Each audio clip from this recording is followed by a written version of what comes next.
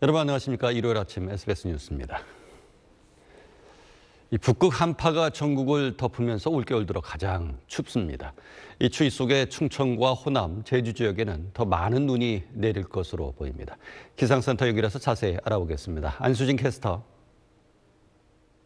네, 밖에 나서기가 무서울 정도의 한파입니다. 중부지방을 중심으로 한파 경보가 그 밖의 지역에 한파 주의보 내려진 가운데 현재 경보가 발효 중인 향로봉의 기온 영하 23.9도까지 뚝 떨어졌고요. 서울의 기온도 영하 11.5도로 어제 같은 시각보다 11도가량이나 기온이 낮습니다.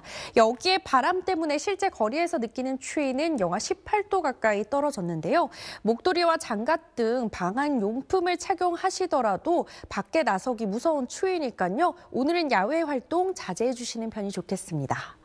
낮이 되더라도 추위는 물러가지 않겠고요. 화요일 오후에는 잠시 영상권을 회복하겠지만 이번 주는 내내 영하권의 추위가 계속되는 만큼 건강 잘 챙겨 주셔야겠습니다.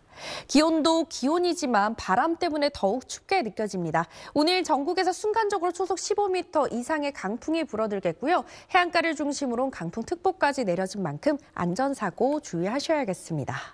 현재 충남 서해안과 호남 서해안, 제주 지역에는 여전히 눈이 내리고 있습니다.